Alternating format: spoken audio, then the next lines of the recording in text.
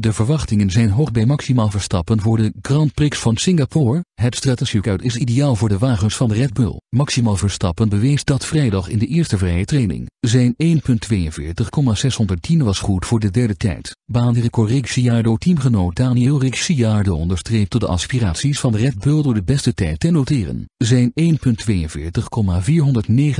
betekende een baanrecord. De Australiër was 0,109 seconden sneller dan Sebastian Vettel van Ferrari. WK-leider Lewis Hamilton, Mercedes, tekende voor de vierde tijd, 1.42,904. Verstappen heeft in Singapore zijn zinnen gezet op minimaal podiumplaats. De Nederlandse Formule 1-coureur hoopt in Azië zijn tot nu toe teleurstellende seizoen een positieve wending te geven. De eerste training gaf in elk geval vertrouwen voor een goede race, die zondag in de avonduren wordt gereden. Verstappen, vorig jaar met 1.45,823